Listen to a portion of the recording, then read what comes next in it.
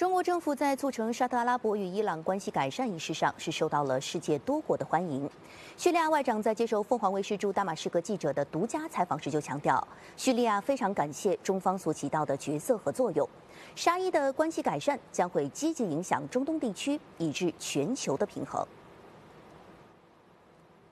中国近日积极参与解决中东地区的问题，尤其是伊朗与沙特阿拉伯的分歧和矛盾。在中国的斡旋下，两国决定恢复外交关系。叙利亚外长在接受凤凰卫视的独家采访时强调，中国在这个方面的成功已向整个世界证明，它是一个捍卫中东和世界其他地区安全与稳定的力量。فيما يتعلق بالدور الذي قامت به الصين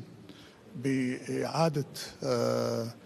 الحرارة إلى العلاقات الصينية الإيرانية والسعودية فهو دور لم نرحب نحن به في سوريا فقط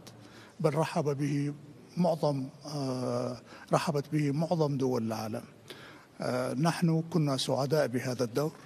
نحن ممتنون جدا للدور الذي قامت به الصين في هذا المجال وسيشهد كل الذين يعملون من أجل الأمن والاستقرار في المنطقة وفي العالم للصين بهذه المبادرة الناجحة التي قامت بها للتقريب بين البلدين. نعتقد أن انعكاسات هذه المبادرة ستكون عميقة أيضا في منطقة الشرق الأوسط وستؤثر أيضا في التوازنات العالمية في مسألة تعددية الأقطاب